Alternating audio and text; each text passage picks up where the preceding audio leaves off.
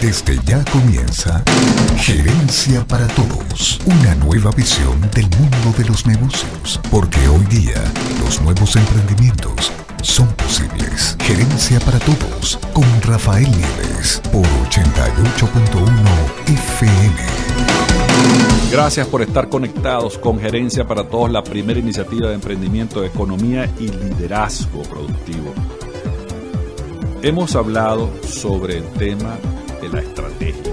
Todos debemos aplicar estrategia. De hecho, lo hacemos, a veces sin saber. Es necesario que tengamos un pensamiento más sistémico, más ordenado, que inclusive podamos identificar las estrategias que han sido exitosas para nosotros mismos, saber por qué y saber por qué en otras circunstancias no hemos sido exitosos.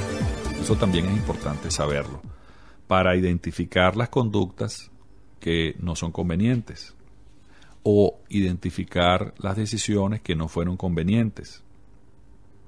Es necesario también que cultivemos la capacidad de motivarnos y fíjense que hago énfasis en eso, motivarnos.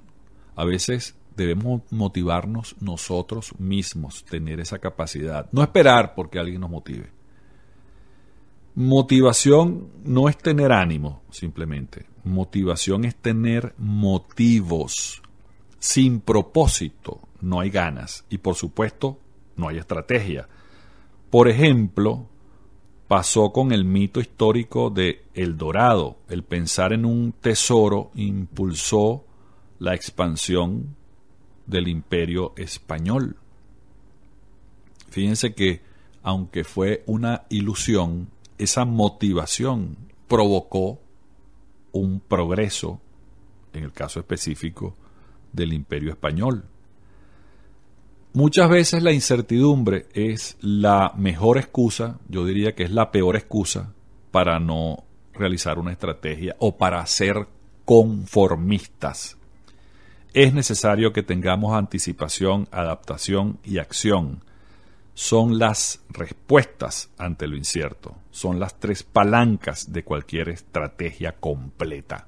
Esto es Gerencia para Porque la gerencia es accesible a todos. Visita gerenciaparatodos.com. Síguenos en Twitter, arroba gerencia todos. E Instagram, arroba gerencia para todos.